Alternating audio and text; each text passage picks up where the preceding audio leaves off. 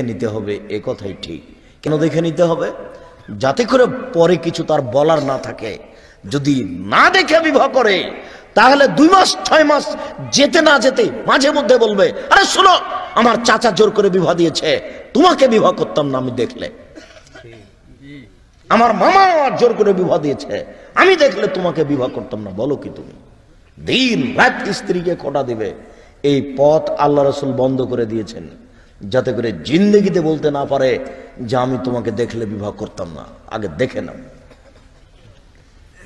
এ কথার অর্থ এই নয় যে দেখতে গিয়ে তাকে বিবাহ করবে না, এরকম পথ নেই। কেন? পৃথিবী সৃষ্টির পঞ্চাশ হাজার বছর আগে যেটা লেখা হয়েছে, ঘুরতে ঘুরতে ঘুরতে ওখানেই যাবে। সে যতই খুঁজুক,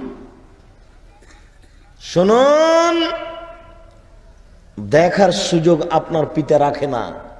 এই মেয়েটাকে এখন আপনার পিতাও বিবাহ করতে পারে।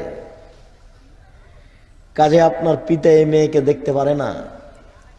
এখন এই মেয়েটা আপনার জন্য যা, আপনার বাপের জন্য তাই। বুঝতে পারেননি? কাজেই বাপের মেয়ে দেখা হারাম। বন্ধু বান্ধবের মেয়ে দেখা হারাম। মেয়েকে দেখতে গিয়ে টাকা দেওয়া হারাম। মেয়েকে দেখতে গিয়ে আংটি দেওয়া হারাম। মেয়েকে দেখতে গিয়ে ঘড়ি দেওয়া হারাম। মেয়েকে দেখতে গিয়ে খাওয়ার বিশাল অনুষ্ঠান করা হারাম।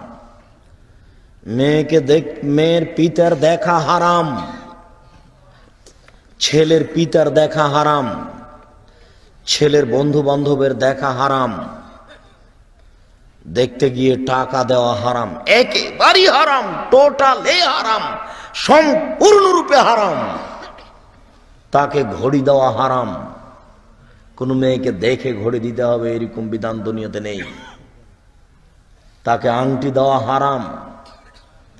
বিবাহ করার পরে তুমি ঘড়ি দাও না পঞ্চাশ হাজার টাকার একটা।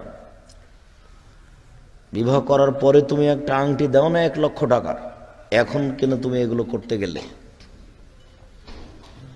এরপরে দেখা হয়েছে বিবাহের প্রস্তুতি, সম্মানিত উপস্থিতি। বিবাহের প্রস্তুতির ব্যাপারে প্রথমত আপনার পথ বন্ধ করা হচ্ছে। কেন মেয়ের পিতা ভেবে নিল যে জামাই কিছু না চাক? অন্তত জামাইয়ের জন্য একটা প্যান্ট, একটা টুপি, একটা গেঞ্জি, একটা জামা শার্ট তৈরি করতে হবে, এটা কেন আসলো? এই কথা, এটা আসলো কোথা থেকে? বিবাহের দিন বরকে নতুন পোশাক দিতে হবে। মেয়ের পিতাকে নীতি কোথা থেকে আসলো? এই নীতির মুখে লাথি মেরে একে কবর দিতে হবে। মেয়ের পিতা জামাইয়ের জন্য এক গিলাস পানির ব্যবস্থা করবে, এরকম কোন শরীয়ত পথ ঘাট বোঝা যায় না। যা খরচ হবে সব মেয়ে ছেলের বাপের। দুইটা টাকা খরচ হবে মেয়ের বাপের, এটা শরীয়তে বোঝা যায় না।